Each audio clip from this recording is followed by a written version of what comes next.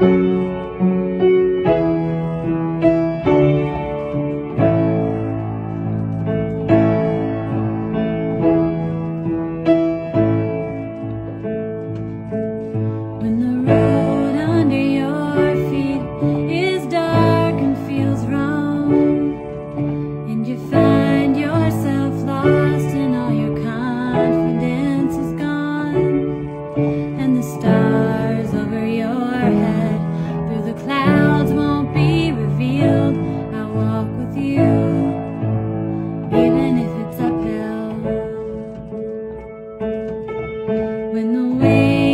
your trust.